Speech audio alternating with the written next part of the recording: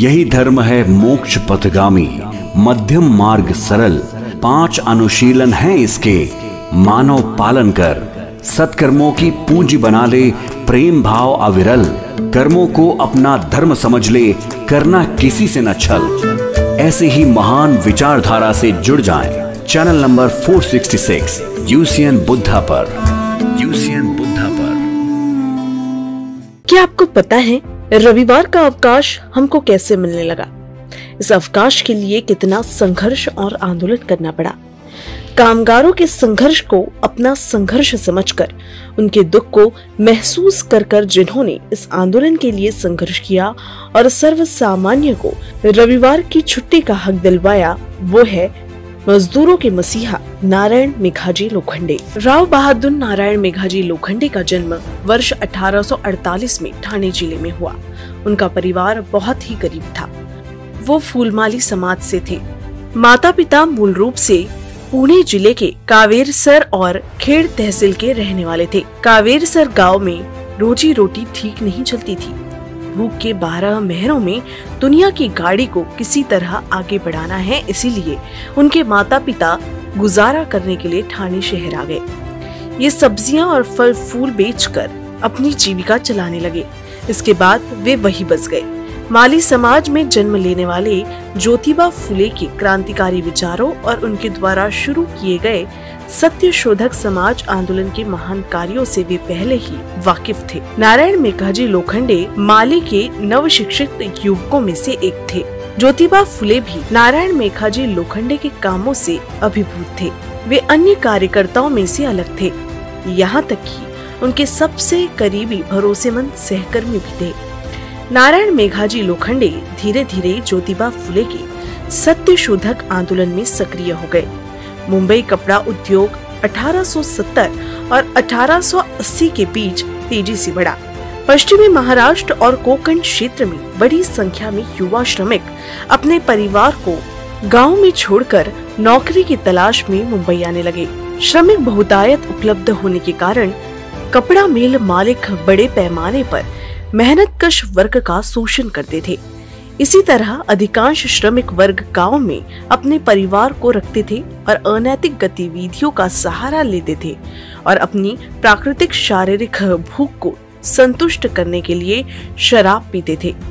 कपड़ा मालिकों द्वारा श्रमिक वर्ग के शोषण, सामाजिक रीति रिवाजों और अंधविश्वास आदि के कारण शूद्राति शूद्र का श्रमिक समाज दिन ब दिन शक्तिहीन होता गया। एक और अंग्रेज़ सरकार के शासन में ज्ञान और प्रकृति ही हो रही थी। शूद्र शूद्र बहुजन समाज पिछड़ता जा रहा था, इसीलिए नारायण मेघाजी लोखंडे ने कार्यकर्ताओं को समाचार और सदाचार का पाठ पढ़ाकर उनका बौद्धिक विकास किया।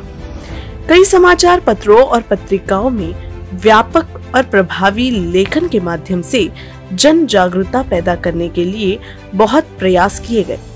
सन 1876 ईस्वी में उन्होंने पंच दर्पण नाम की एक पुस्तिका प्रकाशित की। दीन बंधु नाम का पहला मुखपत्र कृष्णजी पांडुरंग जी भोसले इनके संपादन में 1 जनवरी 1877 को पुणे से प्रकाशित किया, जिससे सनातनी वर्ग में खलबली मच गई थी। इन सभी परिस्थितियों को मात कर उन्होंने दीन बंधु मुखपत्र बड़ी हिम्मत से चलाया। दीन बंधु समाचार पत्र अति पिछड़े वर्ग के विद्यार्थियों के लिए हमेशा आवाज़ उठाता था, जिसके परिणाम स्वरूप अक्टूबर अठारह में मुंबई जनसंपर्क विभाग के एक्टिंग डायरेक्टर मिली वार्नर इन्होंने ब्राह्मणेतर के शिष्य वृत्ति संबंधित अध्यादेश निकाला। लेकिन इस अध्यादेश के विरोध में ब्राह्मणी वर्तमान समाचार पत्र ने इसका राय का पहाड़ कर दिया। 15 मार्च 1881 को गवर्नर जनरल की विधान परिषद ने फैक्ट्री बिल पारित किया। हालाँकि, कपड़ा मिल मालिकों के विरोध के बावजूद अधिनियम अस्तित्व में आया। लेकिन, इसके प्रावधान बहुत हल्के और सीमित थे।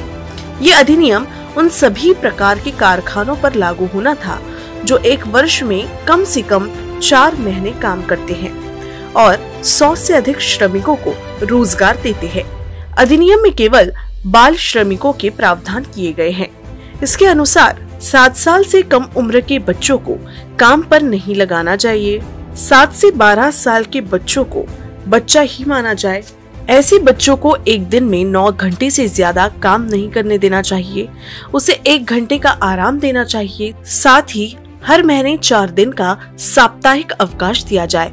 इस तरह के प्रावधान करके सरकार द्वारा बच्चों का आयु प्रमाण पत्र प्राप्त करने के लिए एक डॉक्टर नियुक्त किया जाएगा और ये देखने के लिए एक निरीक्षक नियुक्त किया जाएगा कि नियमों का पालन हो रहा है या नहीं। ये स्पष्ट रूप से कारखाना अधिनियम विधेयक में कहा गया था।